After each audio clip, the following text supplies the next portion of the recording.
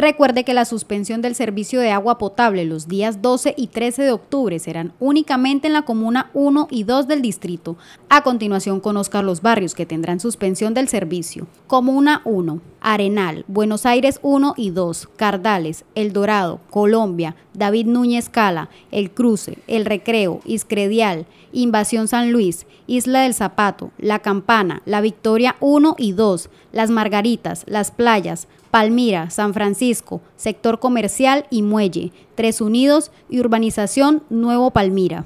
Comuna 2, Aguas Claras, Ciudad Bolívar, Galán Gómez, Olaya Herrera, Parnaso, Uribe Uribe, Pueblo Nuevo, Torcoroma, Villaluz, Lagos de Ciprés, Las Colinas. Si usted es habitante de alguno de estos barrios, no olvide almacenar solo lo necesario de este líquido.